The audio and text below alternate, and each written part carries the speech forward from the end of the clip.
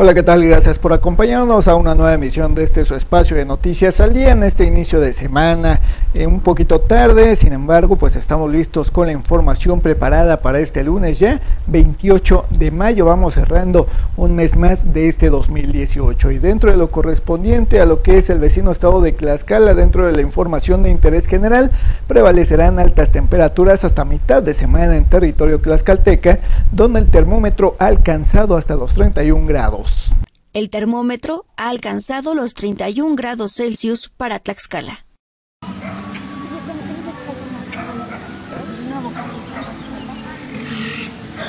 Ante esto, la población se cuida de los intensos rayos solares al utilizar sombreros, gorras o sombrillas, así como incrementar el consumo de agua a 2 litros al día. Nos prevenimos tomando mucho líquido está este pues sobre todo es eso es eso y tratamos de salir poco en tiempo en, eh, en, el momento en que hace mucho calor entonces usualmente estamos en casa y es la manera en que nos nos cuidamos de acuerdo con el pronóstico extendido del Servicio Meteorológico Nacional, el clima caluroso se mantendrá en el territorio estatal hasta este martes 29 de mayo. Mucho líquido, mucha, mucha agua. Eso principalmente y pues ponerse ropa cómoda, ropa cómoda que no acalore y principalmente estar en un lugar fresco. Al conocer que la intensidad de los rayos solares se presenta entre las 11 a las 4 de la tarde, la población procura mantenerse en lugares frescos y a la sombra. Hidratarse, a tomar muchísima agua y pues ponerse en la, en la sombra, no estar en los rayos del sol porque ahorita el cáncer está a pie. O sea, evita lo que son refrescos, jugos, que eso es lo que más nos provoca es deshidratación. Para cuidados de la piel, por ejemplo, de nuestra familia, utilizamos lo que son las gorras, el filtro solar, eso es muy importante, ¿no? Por esto, los rayos ultravioleta. Durante el día, una nieve, helado, paletas de hielo y las bebidas frías mitigan las altas temperaturas, pero a decir de Oliver Juárez, el calor también se siente por la noche. sentí un intenso calor en, este, en la noche porque pues sí, ya no, prácticamente si no, no lo aguantábamos, hasta poníamos un ventilador o abríamos toda la ventana, toda la, prácticamente toda, toda la noche para este, bajarnos de este intenso calor porque sí. Ante algún síntoma como agotamiento, mareo, dolor de cabeza y temperatura corporal superior a los 39 grados, acuda a la unidad médica más cercana.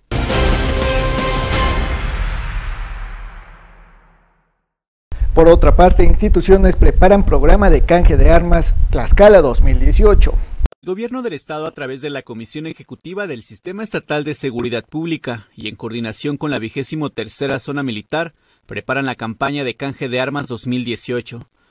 Para esta edición se buscará que niños y jóvenes se puedan sumar con la difusión de pláticas sobre los riesgos que implica tener un arma de fuego en casa. Así lo detalló el encargado de participación ciudadana de la comisión, Francisco Javier Sánchez.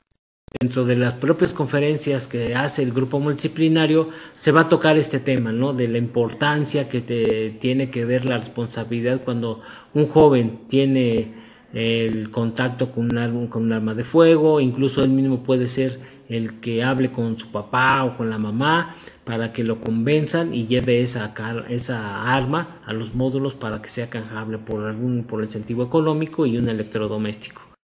La dinámica de recepción será la misma. Un elemento castrense evaluará el arma para canjearla por un electrodoméstico o dinero en efectivo. El año pasado, bueno, tuvimos una gran este pues gran aportación por parte de, los ciudadanos, sí, sí, estamos hablando que se canjearon más de 70 eh, armas, ¿no? Armas cortas y armas largas, se cambiaron más de 70 armas, esperamos en que para este 2018 pues este, alcancemos las, las 100 armas, ¿no? Este es un compromiso pues para prevenir el, primero los incidentes en, en el hogar y luego pues bajar la incidencia delictiva en, en la que se utilice un arma de fuego. La campaña de canje de armas 2018 se tiene previsto arranque en el mes de julio próximo para concluir en septiembre. En breve se darán a conocer los detalles de los módulos que se instalarán en los municipios para recibir las armas.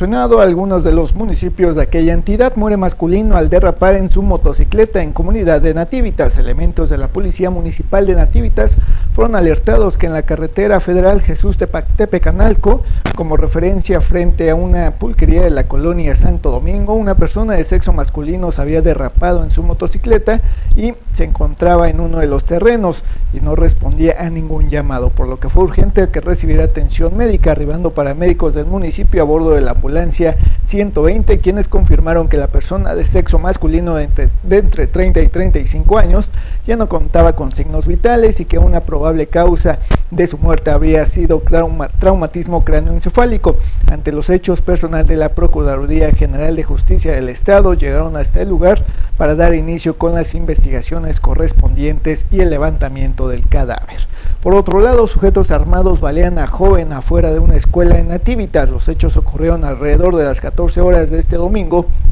cuando fue avisado a los servicios de emergencia sobre un hombre que se encontraba en el interior de una camioneta Chevrolet con placas de circulación del estado de Tlaxcala, el cual, al ser baleado en la comunidad de San Miguel Xochitecatitla, perteneciente al municipio de Nativitas, era llevado por sus familiares a un osocomio, pero a unos metros de la escuela secundaria técnica número 3 perdió la vida. Y según versiones, el joven de nombre Naín, de 21 años de edad, se encontraba en el exterior de la escuela cuando desde un vehículo en movimiento color blanco le dispararon, por lo que tras la llamada de auxilio arribaron al lugar una ambulancia de nativitas, así como policías municipales y minutos después, tras confirmarse el deceso, se hizo presente el servicio médico forense para realizar el levantamiento del cuerpo, así como policías de investigación para recabar los primeros indicios. Yéndonos de manera continua con lo relacionado al octavo distrito en Puebla y la región, denuncian escasez de agua en nuevo fraccionamiento de Coronango, después de que hace apenas algunos meses comenzaran a ser habitadas las viviendas del fraccionamiento Sendero en Misiones de San Francisco, cerca de 30 familias han comenzado a sufrir por la escasez de agua, además de que en un inicio debían caminar hasta 200 metros para llenar sus cubetas, usando una llave ubicada en la entrada del desarrollo por lo cual los mismos quejosos han comenzado a alertar a los nuevos posibles compradores sobre la falta de servicios, colocando en los cristales de sus viviendas cartulinas denunciando los hechos. Al respecto, una de las administradoras señaló que ante la situación los dueños tendrían que dirigirse directamente con la empresa para obtener respuestas, y es que la desarrolladora Convive construye lo que denomina 12 comunidades distribuidas en Morelos, Puebla, Estado de México y Ciudad de México, anunciando en su sitio web tener 40 años de experiencia y con más de 600 mil viviendas entregadas de manera funcional. Situación que, bueno, pues en este caso no se ve de esa manera. Por otra parte, Coronango, Morena y PT concentran el 91% de cajas en el type la estadística del Instituto de Transparencia, Acceso a la Información Pública y Protección de Datos Personales y TAIP dio a conocer que por incumplir con sus obligaciones de transparencia, Movimiento de Regeneración Nacional Morena, el Partido del Trabajo y el Ayuntamiento de Coronango han sido los más denunciados en lo que va del año y entre los tres concentran más de 468 expedientes equivalentes al 91% del total de las quejas, distribuidas 348 para Morena, 93 eh, para el Partido del Trabajo y 27 para Coronango, 26 consideradas como fundadas y una como infundada, aunque hasta el momento ninguno de estos expedientes ha derivado en sanciones contra los partidos o los ayuntamientos denunciados. Por otra parte, en otro de los municipios, por robar teléfono celular, capturan a presunto asaltante de ruta de Xoscla. A través del Centro de Emergencias y Respuesta Inmediata, SERI, se tomó conocimiento sobre la comisión de un atraco en Boulevard Norte y Calle 23 Norte. Ante ello, policías del sector 4 activaron los protocolos del operativo Pasajero Seguro y se trasladaron al punto en donde el conductor de la ruta Xoscla Unidad 51 señaló a un hombre como responsable de abordar el camión y despojarlo de un teléfono celular, por lo que los elementos le dieron alcance y procedieron a su detención encontrándole el dispositivo y un arma de fuego, la cual habría utilizado para cometer el robo, por lo que Jerónimo de 42 años